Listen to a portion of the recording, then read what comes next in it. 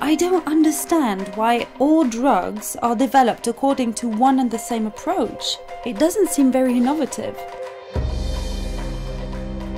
Basically, we all use the same standard route, which takes us from phase one to phase two to phase three. Remember as well, this is a commercial company. This isn't a university where science leads. At the end of the day, we need to make money. Yeah, I agree. The project value drops by 15 million euros if we include a PET substudy in the first in-man trial. Well, Claire, I'm glad we're agreed. Well, not entirely. Claire, you seem to make an academic exercise out of everything. Just do what you're paid for.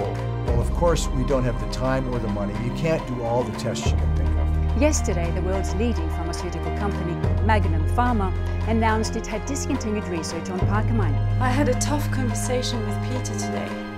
He's an expert on net present value calculations. Claire, I appreciate what you're doing here, but this approach isn't that much different from what we already do in phase one, two, and three studies. I still don't see a calculation of the costs. I agree.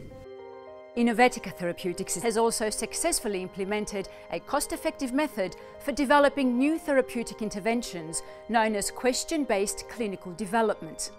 Why don't we try to find out earlier?